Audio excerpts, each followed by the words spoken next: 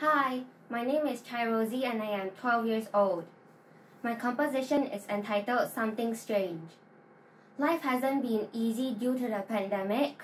I miss going to school, I miss my friends, and basically all my regular activities, which has led to my composition, Something Strange. There's a lot of changes in key signature, time signature, and rhythm, showing the uncertainties of my current situation. We will never know when the pandemic is going to end. I even got contacted with COVID, but I never gave up on my composition. I hope everyone stays safe and never give up on your dreams. Thank you.